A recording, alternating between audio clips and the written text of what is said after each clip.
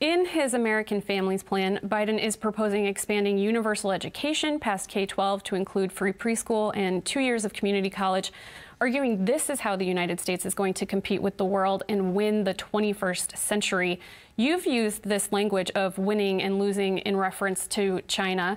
Do you support Biden's expanded investment in education?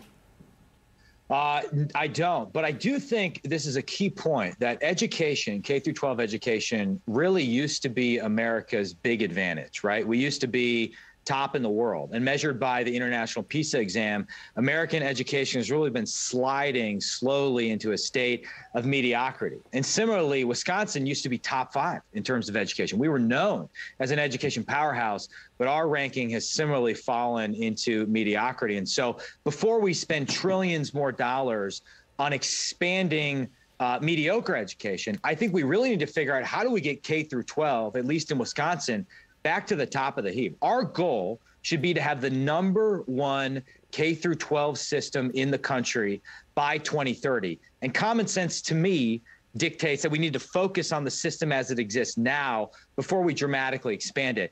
And again, I'm not sure allowing people to go to college for free, even if it's just community college, is the right way. In fact, I think the big thing we've learned over the last two decades through painful trial and error is that not every kid needs to go to college. In fact, I think the message we need to be sending to our high school seniors is you can go right into the workforce. You can work for Marinette Marine, Oshkosh Truck, any manufacturer in Wisconsin, and you can earn a heck of a living and you can be saving for when you want to start a family. You'll have a house before your colleagues who went to college and are drowning in a mountain of debt. So I almost think that's the opposite direction we need to be going in.